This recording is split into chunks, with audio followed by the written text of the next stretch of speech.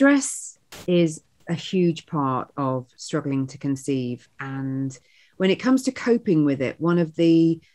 easiest ways to think about it is when your body's stressed, it's not really functioning properly because stress causes your body to almost shut down. And whilst there's no direct link between stress and infertility, in that there's no evidence to suggest it causes infertility, what we do know is that when your body's stressed, it's not functioning properly. And so if you can think about trying to get yourself back into a more neutral state and find ways to cope with that stress,